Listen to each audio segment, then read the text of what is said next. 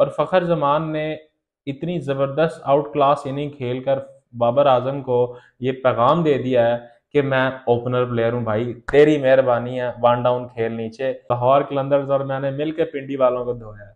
फ़खर जमान का अगर आप कैच छोड़ेंगे तो फिर सेंचुरी तो बनती है, क्योंकि सेंचुरी बनाना फ़खर जमान की हैबिट है, अगर आप कैच छोड़ेंगे तो। आज हम बात करेंगे लाहौर कलंदर्स और इस्लामाबाद यूनाइटेड के मैच की। टॉस जीता लाहौर कलंदर्स ने तो एज यूजल लाहौर कलंदर पहले खेला। लाहौर कलंदर ने पहले खेल कर, जब जैसे ही स्टार्ट हुआ तो फजल फारूकी ने जिस तरह बॉलिंग की पहला ओवर बहुत अच्छा रहा। तो अब्दुल्ला शफीक उसको नहीं सही तरह से फेस कर सके तो आउट हो गए।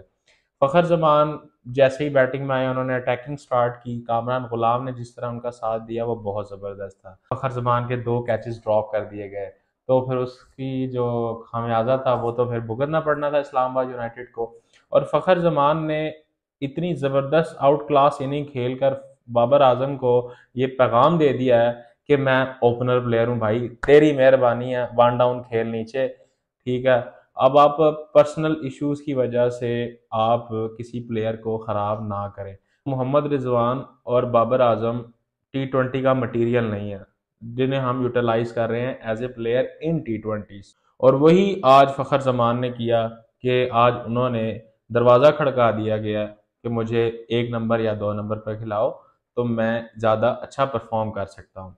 तो अगर हम पूरे मैच की बात करें तो सैम बिलिंग्स ने भी बहुत अच्छी इनिंग्स खेली कामरान गुलाम के साथ साथ। और राशिद खान ने जिस तरह एट ऑफ़ द एंड जो छक्के मारे, वो बहुत ही आउट क्लास किस्म के थे।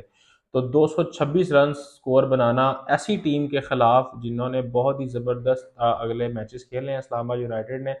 तो लाहौर कलंदर्स वेल डन अब लाहौर कलंदर्स का मैं बहुत देर से ही सपोर्टर रहा हूँ, शुरू से ही हम लोग काफ़ी जलील हुए हैं लाहौर कलंदर्स के साथ और लेकिन अल्हम्दुलिल्लाह के दो तीन साल से Lahore Qalandars top of the list आ रहा है और जो इस साल वो खेला है टोटल आउटस्टैंडिंग बहुत ज़बरदस्त लाहौर कलंदर्स को दाद देनी होगी।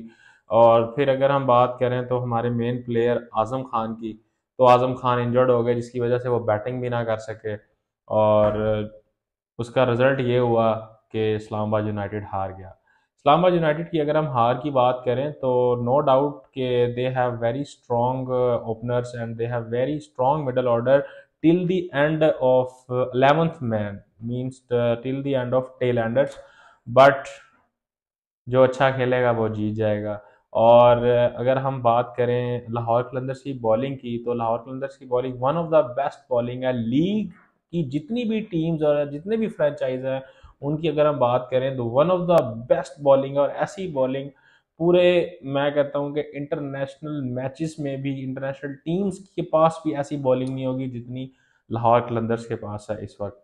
तो जिस तरह लाहौर कलंदर्स ने पिंडी को बहुत धोया ना, उसी तरह आज मैं भी बैटिंग कर रहा था, बॉलिंग कर रहा था, पिंडी स्टेडियम में मैं खेल रहा था। तो वहाँ पर मैंने जो है वो पिंडी के लोगों को बड़ा धोया मैंने भी और बॉलिंग भी कराई, बड़ा मज़ा आया।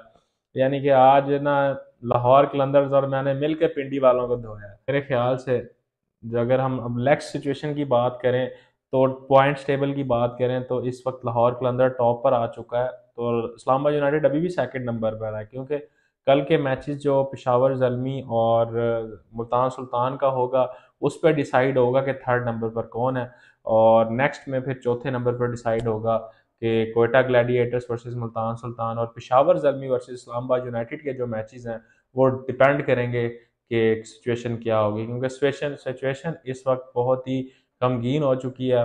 अब कल का मैच जो है वो पिशावर, जलमी वर्सेस मुल्तान सुल्तान है। उस मैच में अगर ये है कि अगर पिशावर जलमी जीत जाता है तो पाँच पॉइंट्स पाँच उसके मैचेस विनिंग साइड पर चले जाएँगे, जिसकी वजह से वो थर्ड नंबर पर आ जाएगा। और अगर मुल्तान के साथ भी सेम अगर मुल्तान जीतता है तो वो भी पाँचवें नंबर पर आ जाएगा।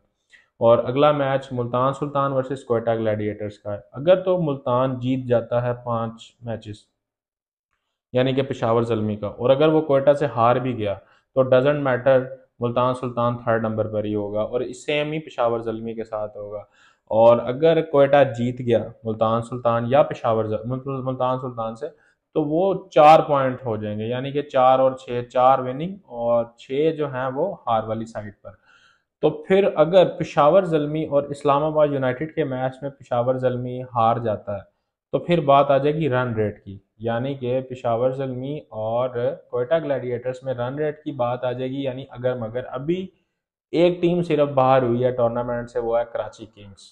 तो Karachi Kings, best of luck for the next P S L nine.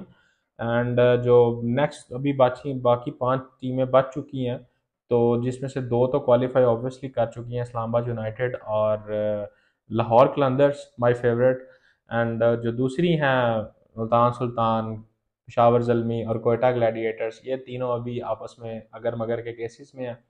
तो मैं होप करता हूँ कि कोयटा ग्लैडिएटर्स ने जिस तरह खेला तो उन्हें पहुँचना भी चाहिए और अच्छा भी खेलना चाहिए। तो अभी नेक्स्ट फिर मिलते हैं कि देखते हैं और क्या होगा। ठीक है जी, अल्लाह हाफिज़।